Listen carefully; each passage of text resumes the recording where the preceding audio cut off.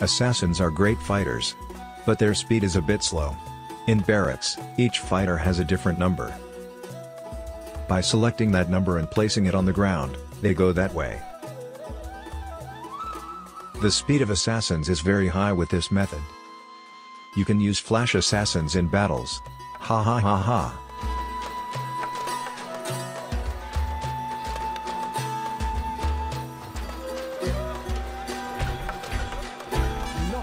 Where are we going? We're off home.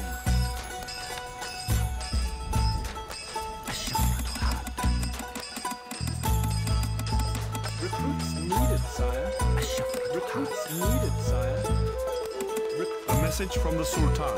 The red sky approaches the Sultan's fortress.